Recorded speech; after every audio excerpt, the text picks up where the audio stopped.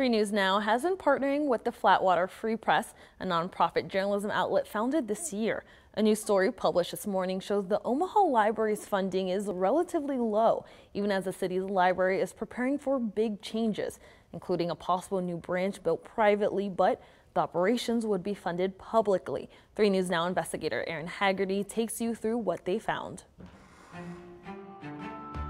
Mayor Jean Stothert is confident the city will continue to successfully operate the library system, including the possible new multi million dollar facility that would be gifted to the city.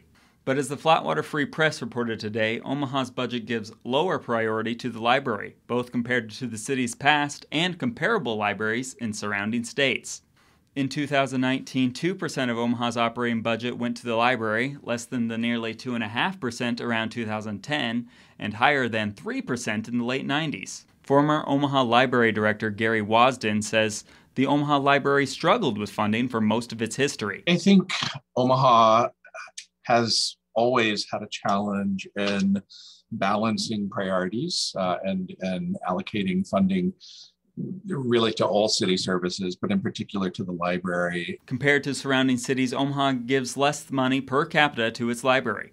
Omaha is in the bottom three of the cities with more than 50,000 people in Nebraska, Iowa, Kansas, South Dakota, and Colorado. Mayor Stothert says the library is appropriately funded, and the library director agrees.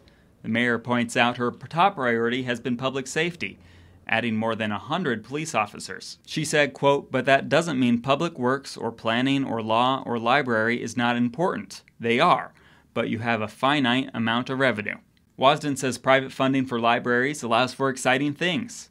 He says these donations often come with strings attached. He gave the example of private funding being used to build a new library. One of the main strings that they want is some assurance that the city will be able to actually operate uh, the library and have the resources to support the library. Omaha's former city finance director, Carol Ebdon, now a UNO professor, worked on a study suggesting that city funding may tend to decrease as private donations increase. Stothert says that hasn't been the case in Omaha. As long as she is mayor, private dollars will never be used to run the Omaha Library. The private philanthropic community is interested right now in, in a main branch and helping to fund a main branch. That is it.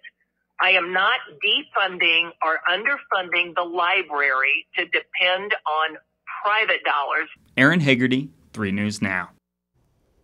And you can find this story as originally reported by the Flatwater Free Press on our website. That's 3newsnow.com.